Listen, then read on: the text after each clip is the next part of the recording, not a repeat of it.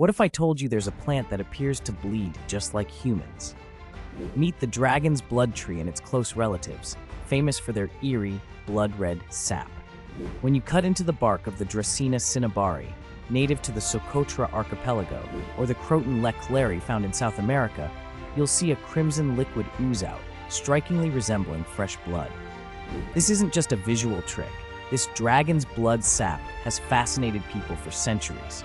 Ancient civilizations believed it held magical powers and used it for everything from medicine to dyes and incense.